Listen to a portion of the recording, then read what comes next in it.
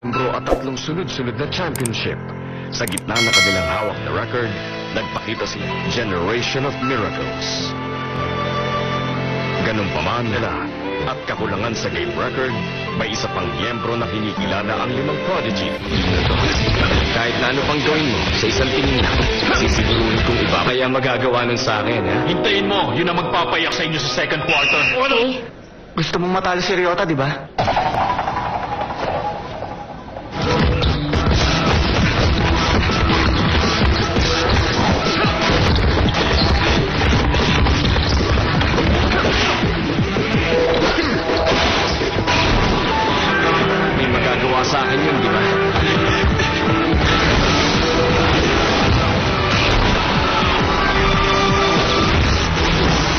May coordination sa kay Tetsuya.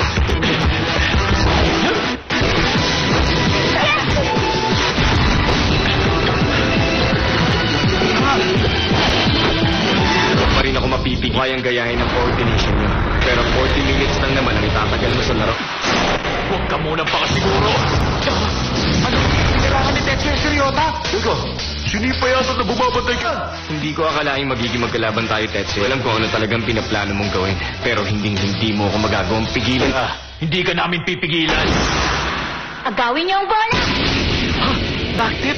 Nung huminto ako, sinamantala nila ang pagkakataon. Wala kaming pakialam sa ganda ng... ng... Hindi ko hahayaan na isang tulad mo lang ang pipigil sa akin. Nakalimutan ako. Nasa ilalim si Tetsuya. At nag-aabang pala sa ibabaw si Taiga.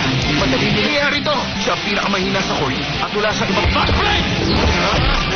Siya, Ayos lang naman ako. Nagsisimula pa lang naman ang laban na... Ten. Sa depensa ka mag-focus. Gawin mo ang lahat na makakaya mo para pigilan si Ryota na makagawa ng field goal. dapat matuto kayo rumispeto. Lalo na sa mga senior nyo. Sige, Hiros! Lumalabas ang totoong ibang dapat gawin. Kundi dumipensa.